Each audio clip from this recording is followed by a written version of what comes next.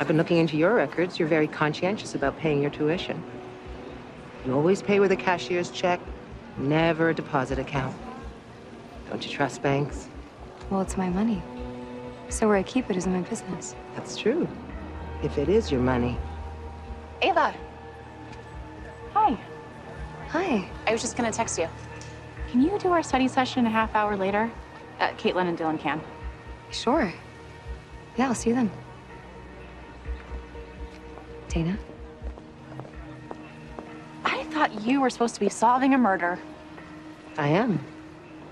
So many suspects. Have you made a checklist of all of Nolan's enemies? I don't understand why you're working so hard to help. You read my file, that's why I'm here. To help these kids. They're under so much pressure. I thought I had a fix on you. But the more I know, the less I'm sure.